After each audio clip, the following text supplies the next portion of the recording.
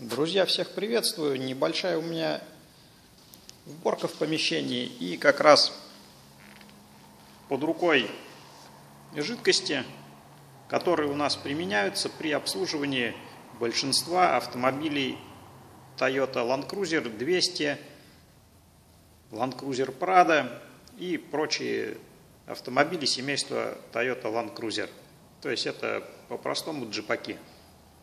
Начнем мы с трансмиссионных масел, которые применяются у нас в редукторах. Это передний мост и задний мост. Передний и задний мост у нас в основном применяются следующие технические жидкости. GL 5 группа 7590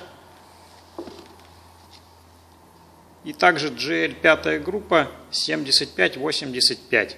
7585 это современный продукт, который сейчас применяется во всех новых автомобилях Toyota. Это энергосберегающее масло, достаточно качественное.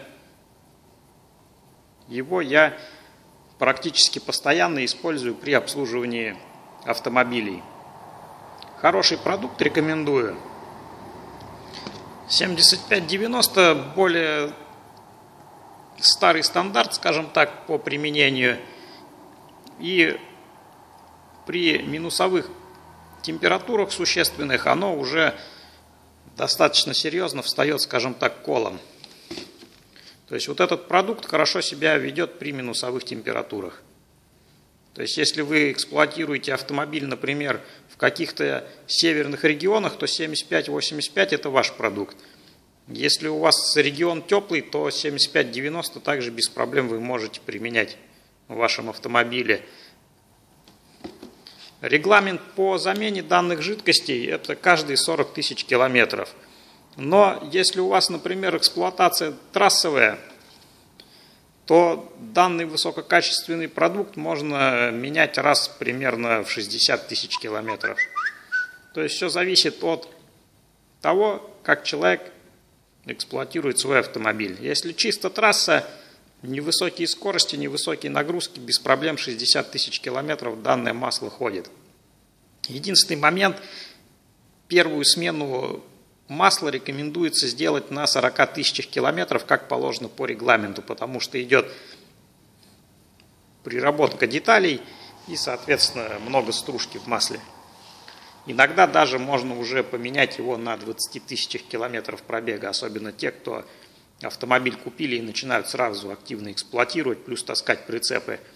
То есть запоминаем это примерно при очень серьезной эксплуатации через 20 тысяч первая замена и дальше через 40, либо при обычном стиле вождения через 40 тысяч километров поменяли, дальше также либо через 40, либо 60, примерно вот так вот.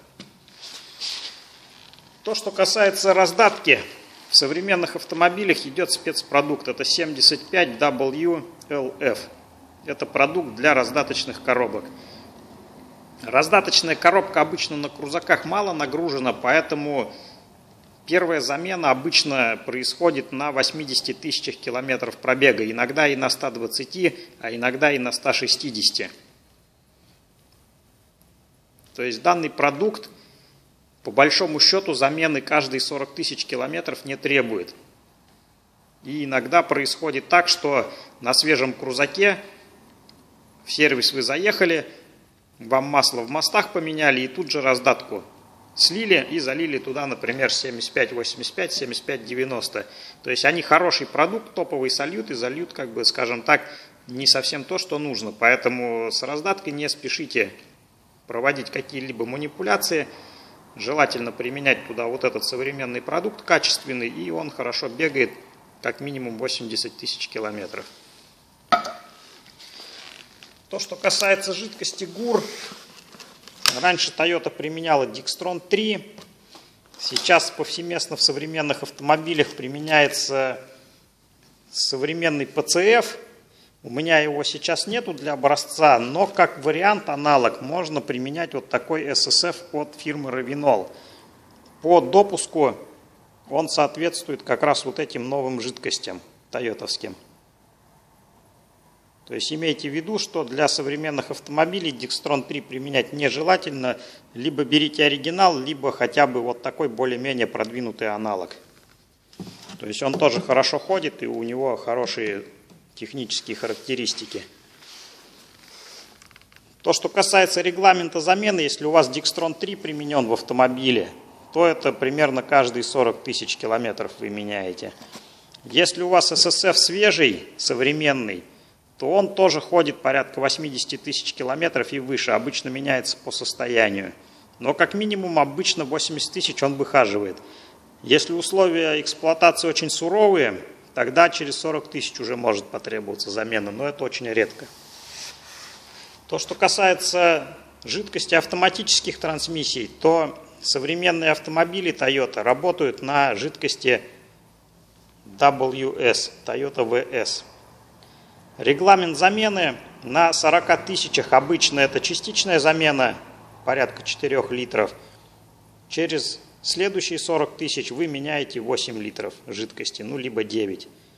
Если у вас активная очень эксплуатация, вы таскаете прицеп, вы мотаетесь по бездорожью, замена жидкости в этом случае может потребоваться чаще.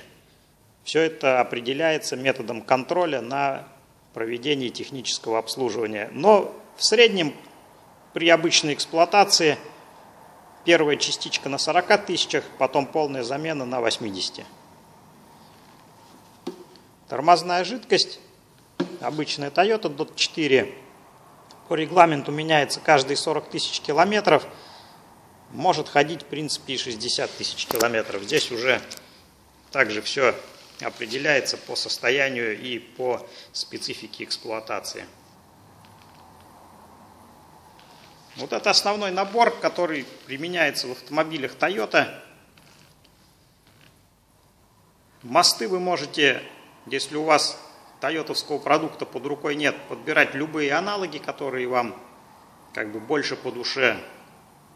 То, что касается раздатки, можно применять также продукты серии GL4, GL5 на ваше усмотрение.